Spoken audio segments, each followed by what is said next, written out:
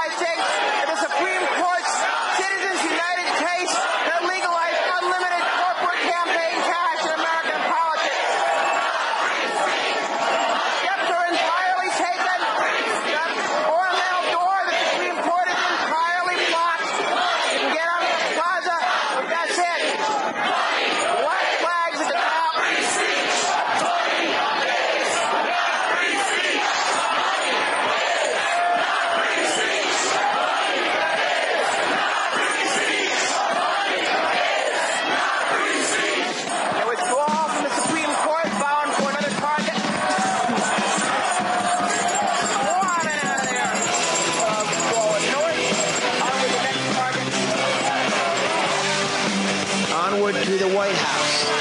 Fox News and Politico claimed that smoke bombs were thrown over the White House fence, leading to the security lights coming on first I've ever seen them, and the total closure of the White House north entrance.